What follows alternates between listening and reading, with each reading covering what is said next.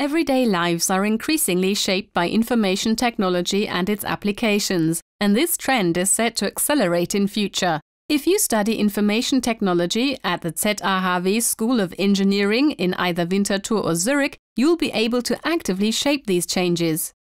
I decided at age 14 that I wanted to get into IT, so that's why I did an apprenticeship in this area. For me, IT is the trade of the modern era, and without it, I'm unable to understand how everything going on around me works. So finding out exactly that was essential for me. I think the IT course is great because I can study alongside work, so I can directly combine theory with practice. I think it's exciting that there are always new developments in IT, so you're forced to learn new things all the time and to keep working on the subject. IT has developed at an incredible pace over the past few years. Our response to this is in our training. We give our students sound and broad basic training in their first two years.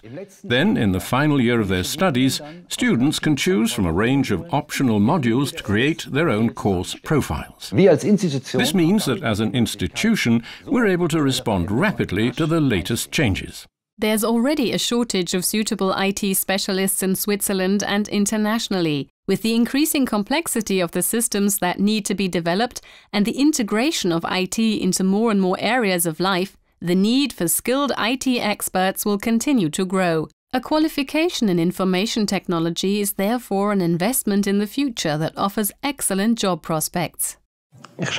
I work in mobility and logistics at Siemens. I'm a sub-project manager on the Gotthard Base Tunnel project and responsible for the IT infrastructure for the tunnel guidance system.